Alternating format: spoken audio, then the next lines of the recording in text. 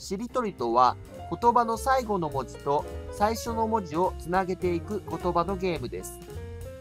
これを絵でやるのが絵しりとりです。例えば、しりとり、リス、スズメ、メダカ、こんな感じです。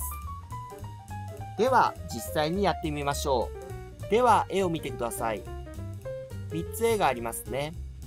その下に丸があります。その丸の中にひらがなを入れてしりとりを作ってください。色がついているところには同じひらがなが入ります。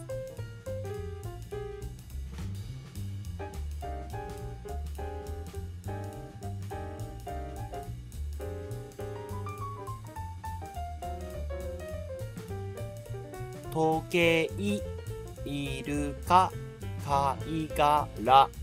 このようにしりとりができました。では次の問題に行ってみましょ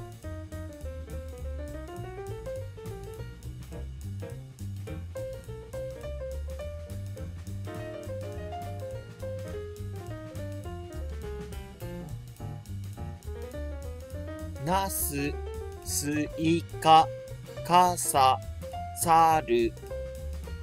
次はちょっと難しいです。